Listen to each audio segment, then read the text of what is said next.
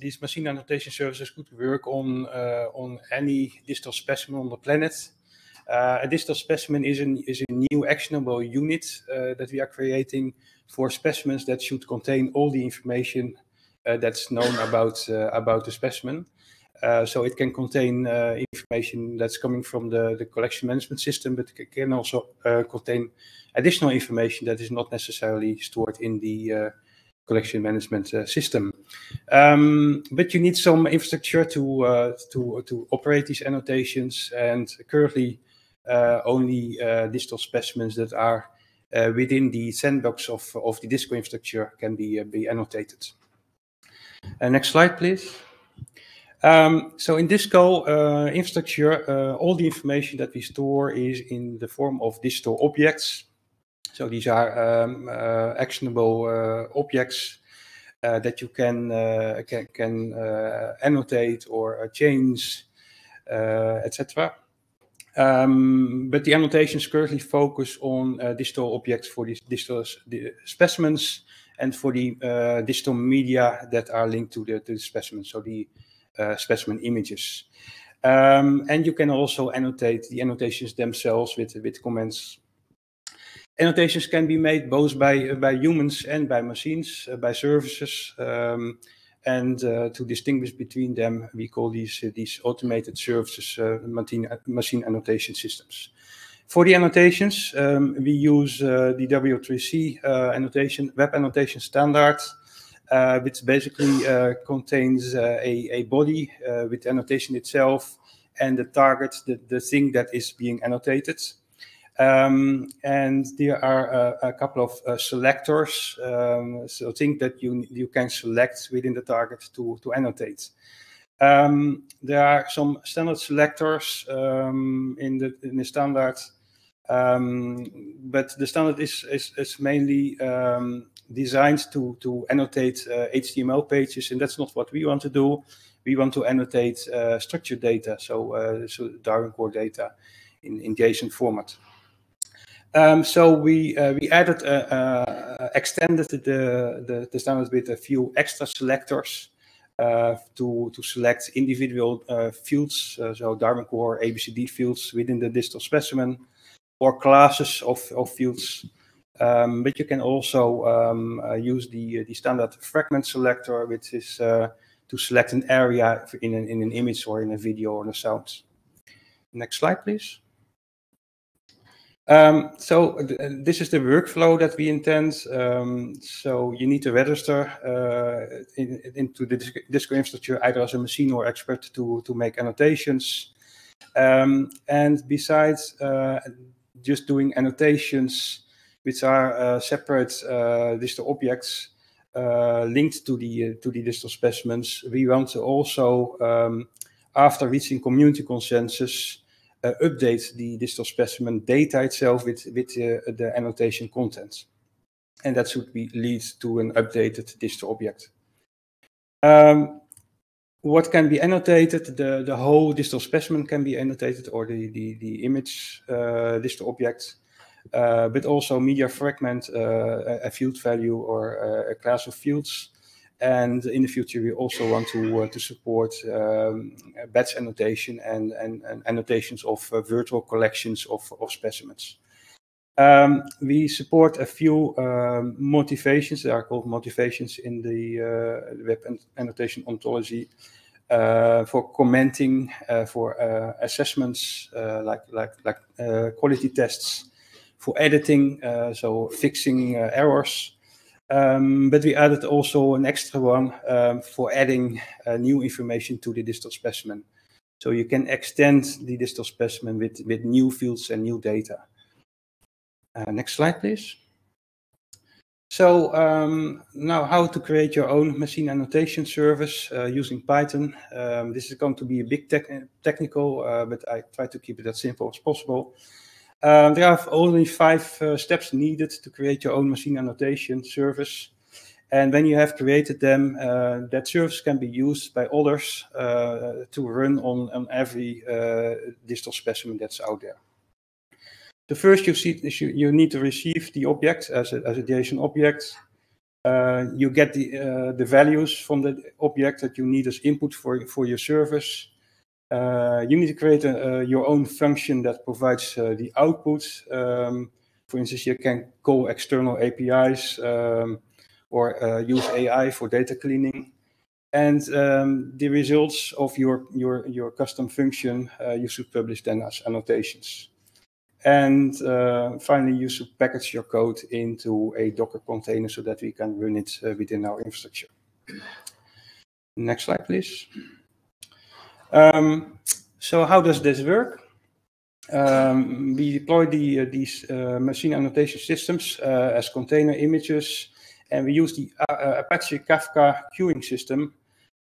so each machine annotation service gets its own queue um, and that's used for processing uh, uh, the information. Uh, you don't need to, to, to know the details of, of that, um, but what you need to, to do is to define a consumer and a producer because you need to uh, consume uh, a message to get the, the, the, digital specimen on which your uh, annotation needs to run, and you don't need you don't know that in advance because a user can can select every specimen to, to run that uh, service on. And you need to, uh, to, to, to, publish the, the annotations that you generated. Um, so for that, you can just uh, just copy this uh, this uh, part of uh, of code, and then you have defined a consumer and producer that you can use. Um, next slide, please. Uh, so if you have that defined, uh, then you can start getting the um, the uh, digital specimen object. Currently, uh, we can only uh, we only support annotation on individual um, digital specimens. So you you load in the, the, the object as a JSON, and then you can retrieve the values that you need. For instance, in, in this example, um, this is a georeference example uh, where you uh, retrieve the locality, the or locality fields uh, that you want to use to, to look up, look up and find the longitude and latitude values. Next slide, please. Um, so now we have, uh, uh, um, uh, we, we did an, an API call, we have a result, and for, from that we can create the annotations for the longitude and latitude. Uh, and for that, you also need to, to create an, an, an, uh, a function to, uh, to create the annotation. Um, in the in the example that I showed, um, an external API is called, and actually that that API needed an an, an API key. Um, so if you if your scripts needs uh, a key or, or, or login or something like that, uh, we don't have an, uh, a service in place yet for registering that, but uh, just contact us and, and we will assist you with a secure way to, uh, to register that, that API key or, or other secret uh, information. you should not, not include that in, your, in your code, of course. Um, to create an annotation, uh, you need to uh, to insert a few things. Uh, you need to to insert one of the the four supported motivations for the annotation, um, and the creator. That's the the annotation service itself, for which you uh, will get an identifier if you register that with DiSSCo. Um, okay. um, the targets for the annotation, sorry for that. Everything, everybody's awake again. um, and uh, and the body with uh, with the result uh, value. Uh, next slide, please. Uh, so this is an example function to create the, the annotations for the for the latitude. Uh, we'll not go into detail on, on that. Um, next slide. Uh, of course, you also want to, to be able to test your code. Um, so how, how to test that uh, without having uh, without running your code uh, within the DiSSCo infrastructure? You can still uh, simply create uh, some some some local tests, um, and you can retrieve the the specimen objects directly through our API instead of from the from the the Kafka queue. Next slide. Um, so if you're done with your code, you can uh, you can finalize that by creating a, a, a Docker uh, image, and uh, and send the code to us for evaluation, and then we can re register your uh, your annotation service. Next slide. Uh, so this is an example of creating a Docker image. Next slide. Um, this is how uh, a user will see that in the, in the interface. So there is uh, we have a, a sandbox environment uh, where a, a, person can for a specific specimen, choose an action to trigger automated annotations. Then he can select the annotation service that he wants to operate, and uh, then he can uh, can trigger that, and it will uh, be operated once it is in in the queue. Next slide.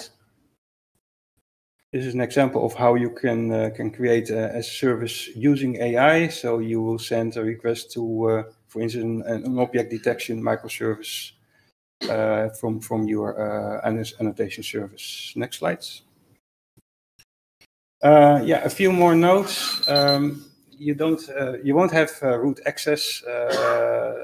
you will have won't have write access to the underlying file system. So there's also security um, measurements in place. Um, also, we won't allow uh, your service to uh, uh, to, to, to dosing uh, APIs. So we only uh, we wait for a response for, for an external API call until we send out the, the next call. next slide. Yeah, some uh, acknowledgements to uh, to uh, end with.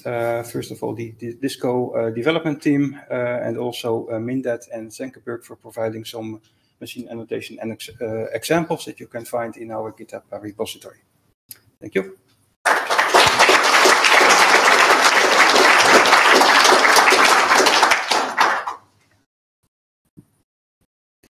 Thank you very much. I don't think we have any questions online. Is there anyone in the room with questions?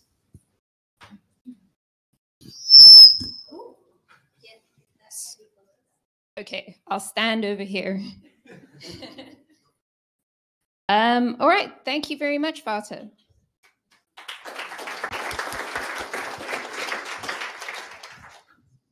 Our next speaker is Wakas Ahmed. I guess he's online.